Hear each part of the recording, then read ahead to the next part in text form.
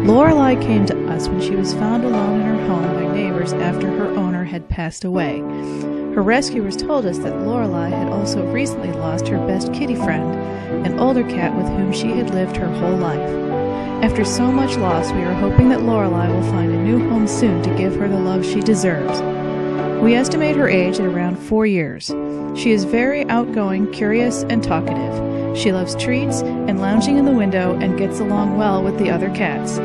Come meet Loreli and make her your new best friend.